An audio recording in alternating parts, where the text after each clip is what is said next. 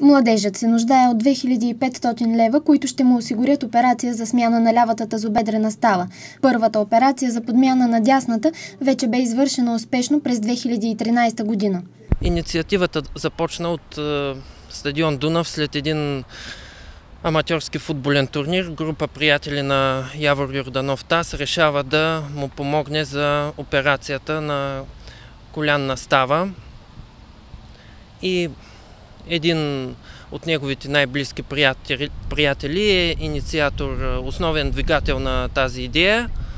Той бързо намери самишленици, близки приятели на Явор, които създадоха групата във Facebook 200 250 фена за Явор Юрданов, с което стартира тази инициатива.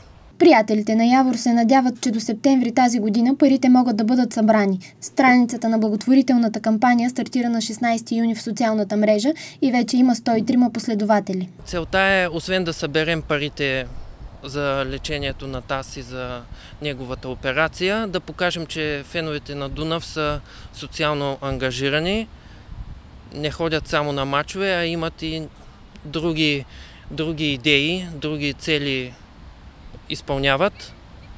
Всеки, който би желал да направи своето дарение, може да получи повече информация в интернет или направо да преведе желаната сума във всеки банков клон с посочване на банковата сметка, изписана на вашите екрани.